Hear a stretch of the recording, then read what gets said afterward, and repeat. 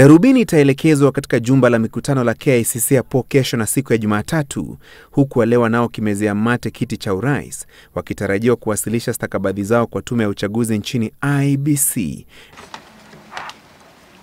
good afternoon, ladies and gentlemen. Na ibc tayari imechapisha orodha ya wawaniaji na utaratibu watakaofuata ili kupigwa msasa iwapo wameafiki matakwa ya kujitosa kwenye mchuano wa kuelekea Ikulu.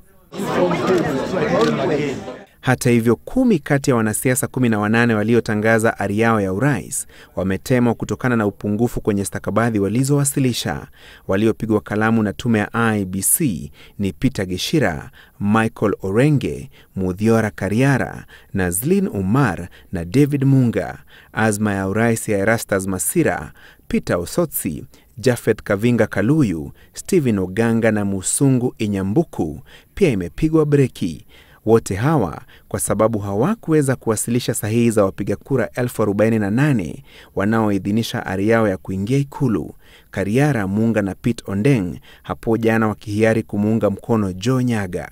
Walioidhinishwa na IBC kujitosa ulingoni ni Rais Uhuru Kenyatta anayesaka muhula wa pili, kinara wa NASA Raila Odinga anayejaribu bahati yake kwa mara ya nne, Dr. Ekuru Aukot na mwanasiasa mcheshi Abduba Dida. Those organizing the debate should not come up with it is a two horse race. It is you.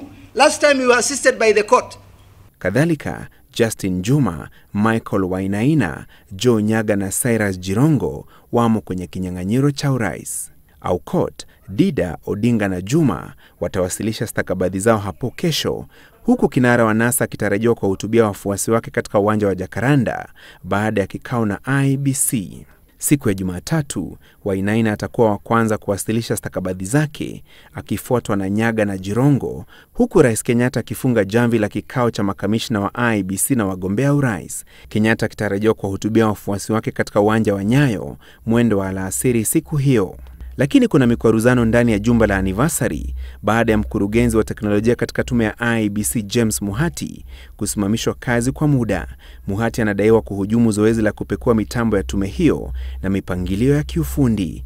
Makamishna wa tume wamemteua meneja wa kituo cha data Chris Msando kuwa kaimu mkurugenzi wa kitengo hicho.